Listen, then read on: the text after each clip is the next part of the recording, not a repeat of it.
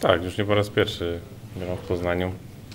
I wygrywałem, i przegrywałem, także, chyba tylko nie zremisowałem w, Poznaniu, jeżeli już zawodnikiem będącym innego klubu, także jadę jak najbardziej z optymistycznym nastawieniem.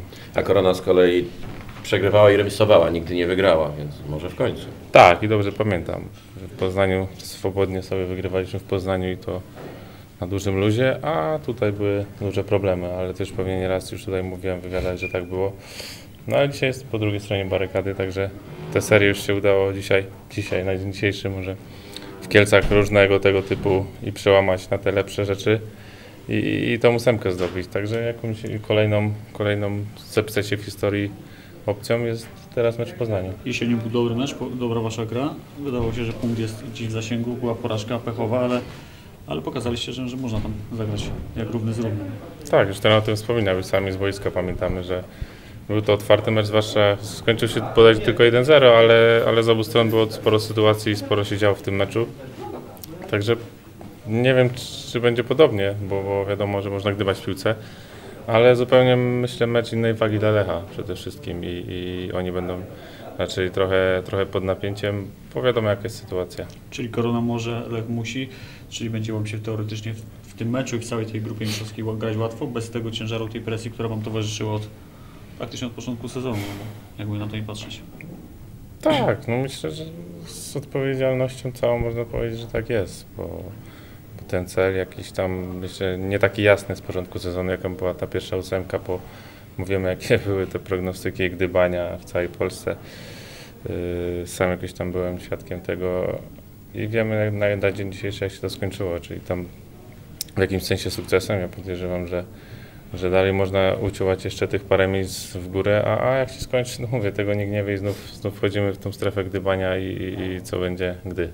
A strefa mentalna, tutaj nie ma obaw, że tam gdzieś tam poziom motywacji był na każdy mecz bardzo wysoki, bo, bo musieliście, bo walczyliście, a teraz pytaliśmy o to i trenera i Bartka Rymaniaka, czy, czy to może być problemem, czy właśnie samo to, że są fajni rywale, dobre stadiony, duża stawka, to, to tu nie będzie problemów z motywacją. Eee, Takim podejściem do meczu, jak, jaki gdzieś tam zawsze pokazywaliście. To drugie na pewno, przede wszystkim, że te pełne stadiony raczej będą, jeżeli na wyjazdach będziemy grać, bo gramy u tych drużyn z tych pierwszych, pierwszych miejsc i, i wiadomo jak to będzie, mówię, tam powtarzam tą wagę, wagę spotkań dla tych zespołów i te, ten stadion, bądź co nie bądź, kto by tam nie przyjechał pewnie w tym momencie, to, to ten stadion będzie raczej, może nie w pełni, ale w większej części wypełniony, a, ta pierwsza rzecz, nie wejdę y, do głowy wszystkim chłopakom, jak to, jak to jest, bo dla niektórych to będzie ogromny sukces.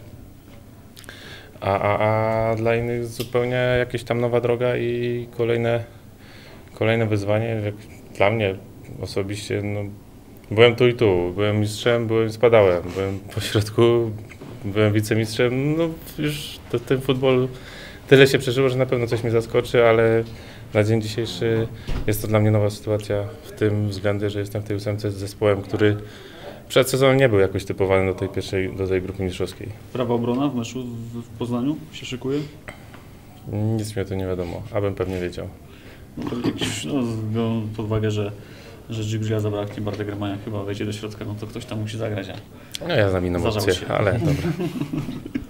Inną opcję i na pewno jakbym grał na prawej broni, to już bym wiedział z początkiem tygodnia, bo, bo tak było w meczu przeciwko Mhm. Śląsk Śląskowi, a w tym momencie nic nie wiem na ten temat, więc podejrzewam, że nie. Czyli twarda walka w środku pola. Tak, już, już nie pierwszy raz, miałem z nim sporo przygód, także, także ja zapraszam. Roze, ro- rozegrałeś już w jakimś klubie wszystkie mecze w sezonie? Bo teraz masz na to szansę jako jedyny piłkarz korony. Na razie masz 30 na 30.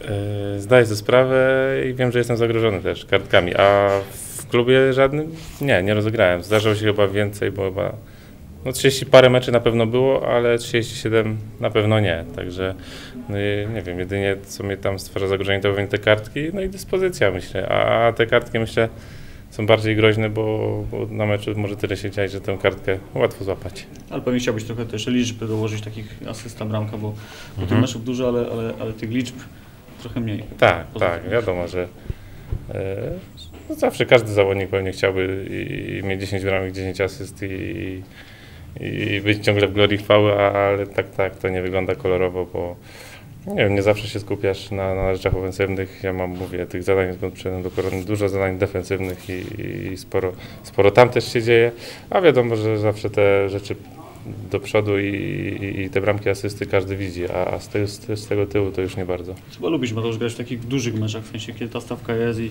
i na trybunach jest głośno i, ten ciężar gatunkowy jest wyższy niż na przykład, nie wiem, w Łęcznej.